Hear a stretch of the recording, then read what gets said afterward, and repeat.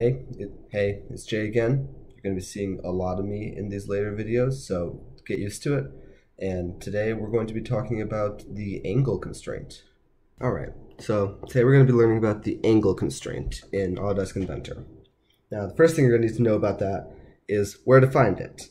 So to do that, you're going to make sure you're in the Assemble tab, and then you're going to go to the Constraints menu, and it's going to open this little window, and it's second from the left. That This is the angle constraint and it looks like two beams at an angle quite intuitively. So then, to show you how to use it, I've actually got to do a quick thing. It's doing that, like we're going to use the insert constraint like we learned about last video. Then we're going to align those holes. Then we're going to ground this so that it can't move at all. And now you can see uh, that the this beam can rotate around that hole freely as it wants.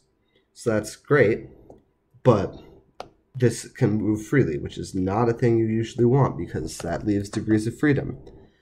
So here's where the angle constraint comes in. It has three modes about it. There's directed and un undirected and explicit reference vector. To be totally honest, there's only one difference that I really know about these two. I'm sure there's more, but that's all I know and we'll get to it when we get to it. So first of all, we use directed angle. And you can, what you can use that for is you can select two like lines or faces and then it can just, you can select what angle they go at. So for example, this is zero, it goes up to 180, you can do that. You could also give it an angle, which is, we could also do that with like mate and flush though.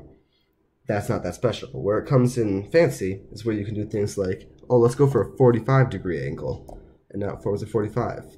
And then you can go negative 45 and it'll go the other direction. And that's great. That's very fancy and useful. And undirected angle behaves in a very much the same way. The only real use I have for that is when you're applying limits, which is a completely different video that we're talking about later.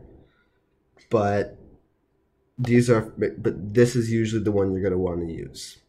Now, the other one that's useful is the explicit reference vector angle. What that will do is it allows you to align them or make them at an angle along a given angle, which is a given line, which is great. Now, I actually don't know what you have to select because these are three different things. So we're just going to try this. Actually, no, we're going to try this. It's an outside angle because hopefully what happens here so that I can make these two things. No, that did a weird thing.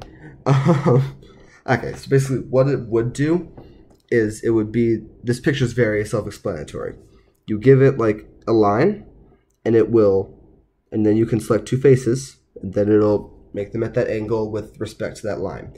Now this is great and useful, especially with stuff like gussets, because then you can make the thing, the beams go at an angle that the gusset is, and you can put the gusset on there, and it fits all nicely. And one fancy thing about this specific constraint is these pictures are pretty self-explanatory and great. So use that to your advantage because it's there, you may as well. We're hoping that goes back. Yes, it does. Good, good, good. Um, now that's back to being nice and rotating. And the use cases for this constraint is honestly making an angle between two components for like a gusset or just you want these to cross a specific angle. However, there is a nice way that I quite like is you can use it to align two faces in a less clunky way than like the flush constraint because it allows you to move them up and down if you want to. So we could like go ahead and make these and then give them an angle of zero and you can see these are now aligned and that's what we want. We can do the same thing with these faces and then if we go ahead and delete this insert you can see that this will slide up and this will not rotate because it has to be at a zero degree angle to all of those. So that's a way to just remove degrees of rotational degrees of freedom without removing translational degrees of freedom, which is a useful thing. So the one big thing you gotta be careful of with this constraint though is you want to make sure you usually you're to use directed at least that's usually what i do but it defaults to the explicit reference vector option which is less than ideal because that's not usually what you want so you just got to make sure you manually go to select that. Oh one more thing i almost forgot about is this button. Basically what this will do is if i go ahead and resume that to what it was um, what this button will do is when you go to constrain them, if you if this button's checked, it will predict the angle that they're at right now, so you can like kind of go to 45 and see I selected explicit reference vector there, which is not what's good.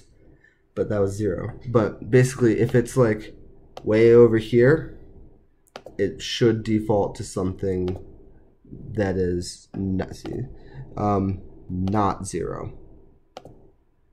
See, that's 50, 55.76 degrees, which you don't usually want, but then you can go in and you know what direction you have to go now, and it's sometimes easier just to do that.